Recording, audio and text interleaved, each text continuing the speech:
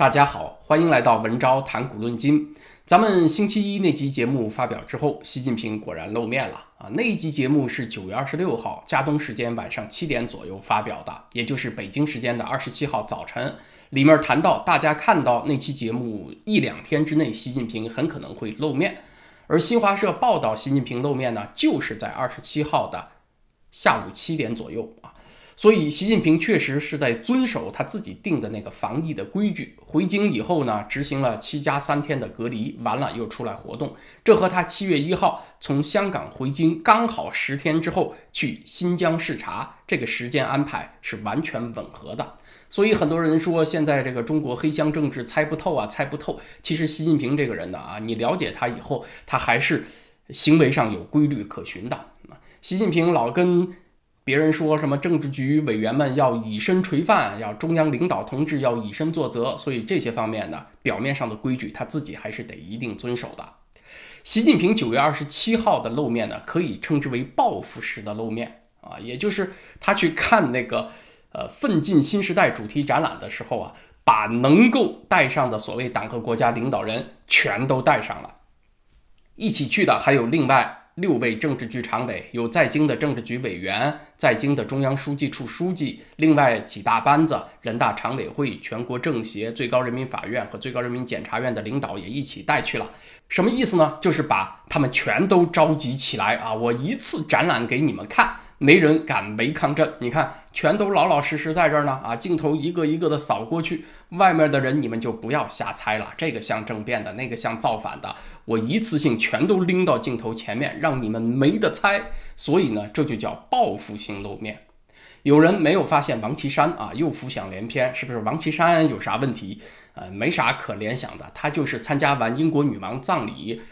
回国还处于隔离期呢啊！王岐山参加女王灵柩的悼念仪式是在九月十八号所以他现在还在隔离期之内。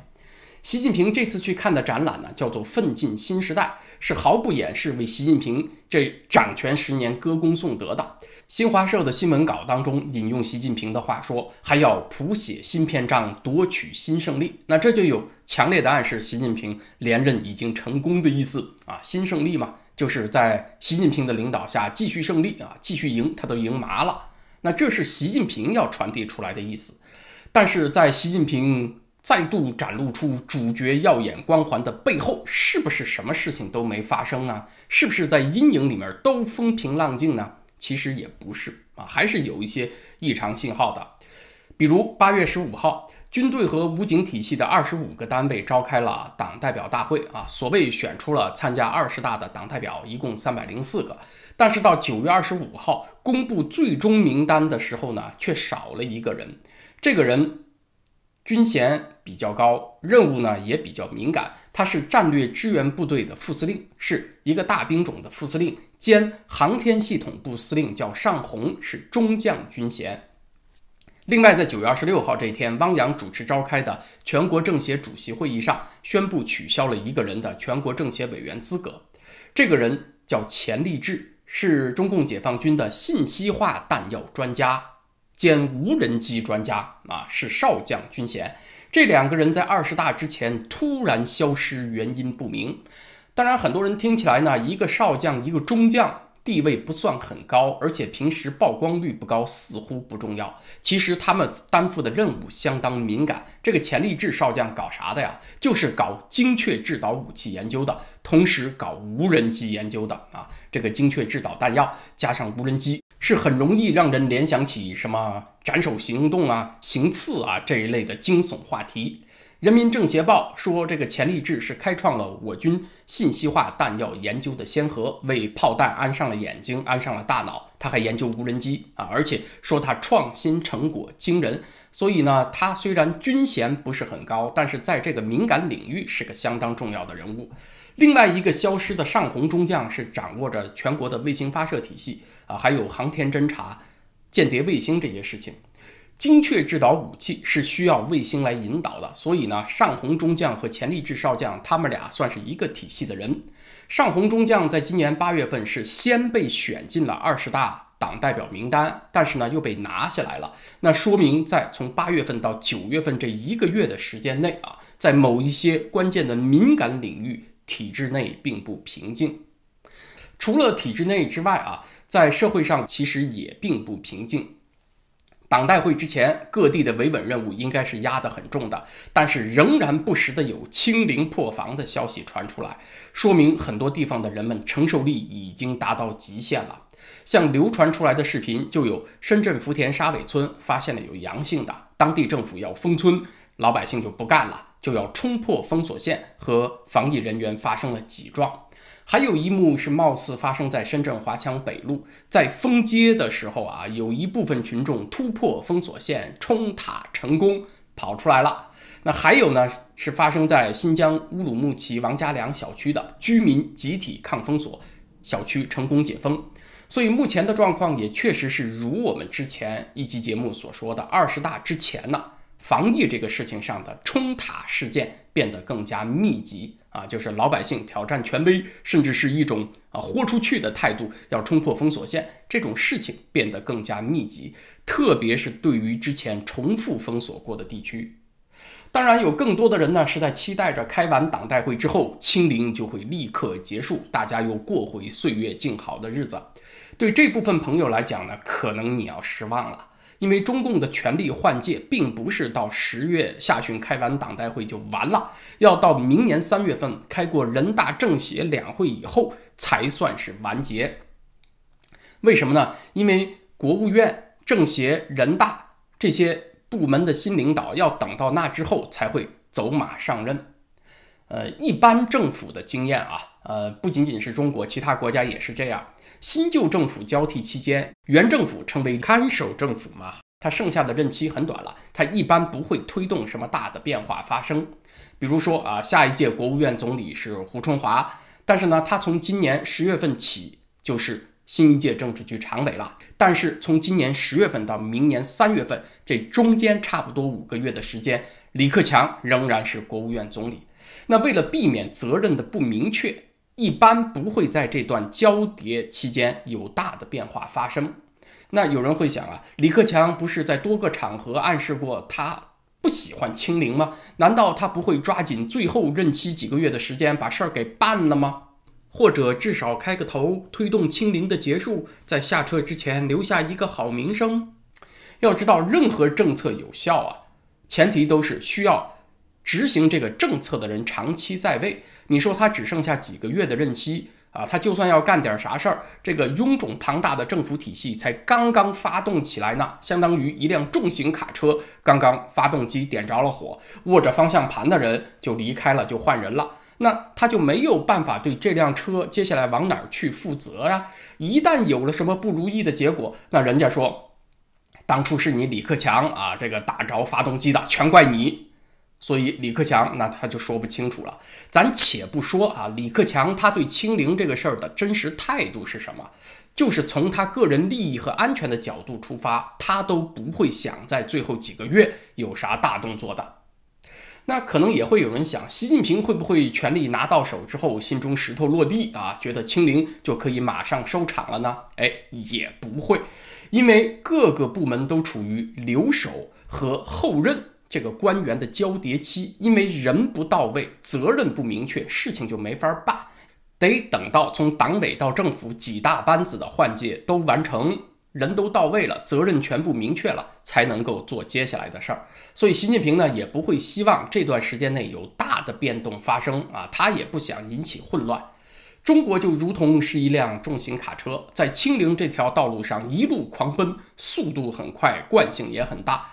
要刹车呀，只能一点一点的刹，从减速到拐过弯来，它就需要一段较长的距离。可是悬崖就在前面了，这段距离不够怎么办呢？那也没办法，只能听天由命了。党代会之后，局部的放松可能会有，但是全局性的改变，说放弃清零政策啊，不太会马上到来。同时呢，这个社会的复苏也还需要额外的一段时间呢，也就是企业要恢复信心。它得有一段时间。你说企业刚刚把工人找回来，又刚刚接了订单，您这儿又封了，怎么办呢？他就抓瞎了。所以从政府有明确的信号放弃清零，到制造、消费和就业的全面复苏，还需要一段额外的时间。得是政治上的惯性加上经济自身的惯性，才会有大家期待的啊那个社会有复苏的效果。我举另外两个例子啊，因为我们这儿还有中国以外的观众。比如，美国和加拿大现在正处于加息的周期，来抑制通胀。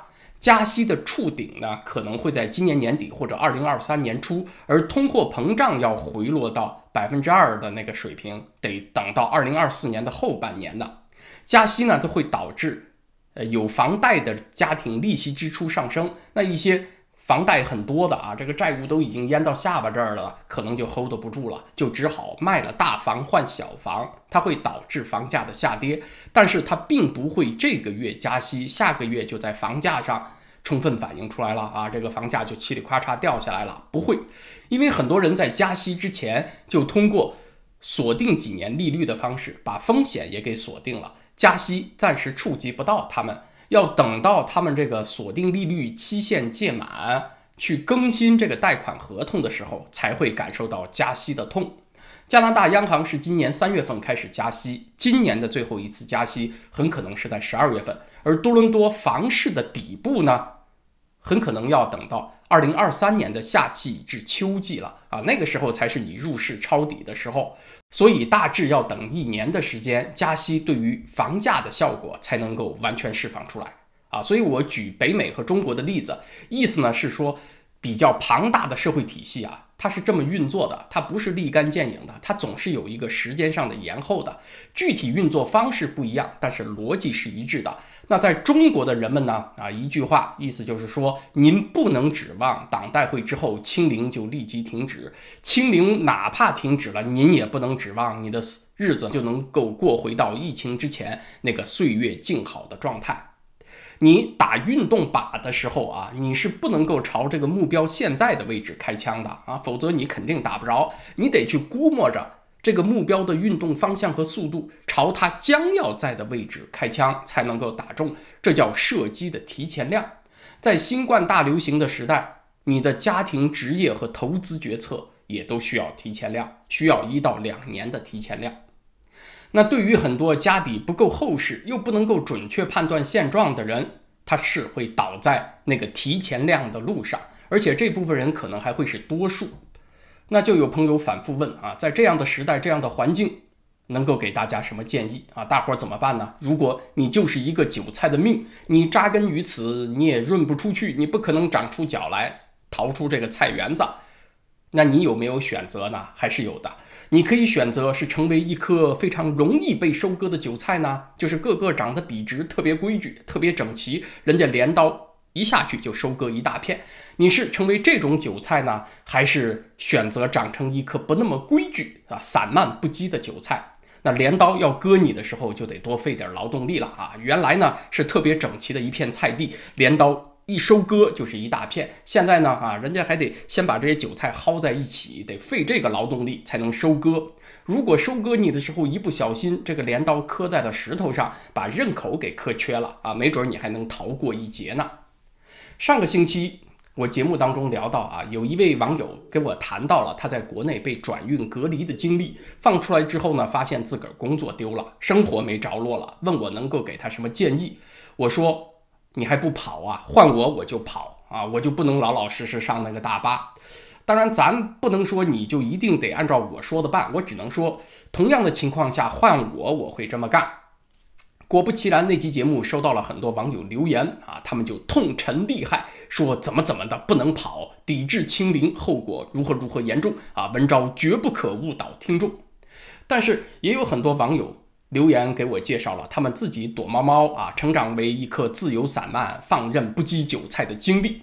有一位成都的网友就说，他自己的经历证明了抵制核酸是完全可行的。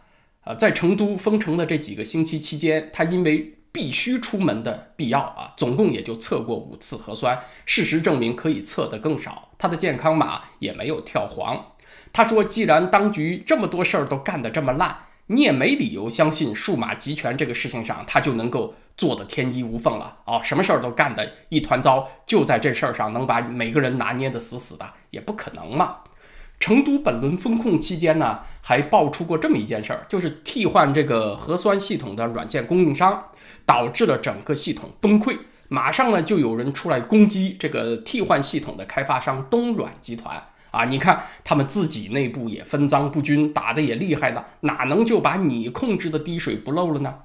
还有网友介绍经验啊，去公交、地铁站还有餐饮场所，他只给对方看那个健康码绿码的截屏啊，晃一下就不给对方扫码。绝大多数情况下呢，对方也不愿意多费一个动作去扫你的码。碰上特别较真儿要扫码的呢，啊，就换个入口再进嘛，成功率百分之九十以上。如果要出示核酸阴性报告怎么办呢？啊，他就拿几个星期以前的核酸报告给对方看，在对方眼前晃一晃啊。至于有日期的那个位置呢，怎么折一下、卷一下，用个手势挡一下。大多数情况下，对方也不较真儿，也就放他过关了。碰上真的被发现呢，就说对不起，我出门拿错了啊，我拿到几个星期以前的了，我回去再找一找。还有网友说，碰上社区人员和防疫人员上门啊，能嚷嚷着说话的就不好好说，能矫情一分钟的就绝不五十九秒。社区人员在你这儿碰了钉子，多费的劲，下一家呀啊他就放水了。那邻居呢，相当于得到了你的帮助啊，下回他也投桃报李，也帮你过关。虽然说这些经验啊，我不是全部都赞同，但是这些网友立志要成长为一颗倔强的韭菜的努力啊，我觉得是值得肯定的。镰刀要收割，也不能让它割得那么顺利，割得那么舒服。当然，防疫人员当中呢，有一部分也是受体制所迫，也未必完全赞同这个做法。咱能动之以情，晓之以理最好啊，能不和人冲突最好。呃，但是呢，消极抗争的精髓是什么？就在于你得主动的提高对方的管制成本。如果很多人都能够在当前能够承受的风险范围内多去承担那么一丢丢，那管制成本。就会大幅提升，这就是消极抗争、非暴力抗争的精髓。如果大白啊，在你这儿多费一分钟，在你们家隔壁那儿也多费一分钟，几百户、几千户下来，他二十四小时加班都是不够的，他就必须得改变现有的做法。呃，邻居商量好了，共同进退、分担风险，也未必有那么难。当然，不管我这儿讲什么，都会有人再讲出一百个理由，说为什么韭菜必须服从镰刀，除此就没有别的路了啊！也会有人坚持让我回国去闹革命啊！如果你把那一丢丢风险看得比天都大，就算文昭回国闹革命，你就跟着革命了吗？啊，你就可以有反抗的勇气了吗？好像不是这样吧？第一个不让我回国的是谁啊？就是中国政府啊！我成为加拿大公民都十几年了，中国护照早就过期了。啊，要回中国还得办签证，所以你在这儿逼我回国闹革命之前，能不能先去逼一下中领馆，让他给我发签证呢？但是不管怎么样，面对的是大众，那这样的声音占的比例毕竟还是相当大的。人组成的社会啊，是没有滴水不漏的铁桶的，这个缝隙呢，得你自己去找，自己去试啊。当然，得尽量在不伤害别人的前提下啊。那么好，今天的时事话题咱们就先聊到这儿。明天星期四，在咱们的会员网站文昭点 ca 上，我想来聊一聊德国二战之后复苏的那个莱茵河奇迹。我们曾经聊过从阿根廷到俄罗斯到斯里兰卡为何而哭泣，那我们也聊聊不哭的啊成功的经验。丘吉尔呢，当年曾经下过一个断言，就说柏林被轰炸以后，光清理完这堆破烂就得二十年。啊，结果呢？你看德国一九四六年人均 GDP，我说的是西德啊，人均 GDP 是法国的百分之五十七点几，一九五九年就超过法国了，达到了法国的百分之一百零三。那明天在会员网站上，咱们就来聊一聊这个大事儿是怎么办下来的啊？是集中力量办下来的呢，还是放任不管办下来的？在文昭谈古论今这个 YouTube 频道，咱们就是星期五再见了，谢谢大家。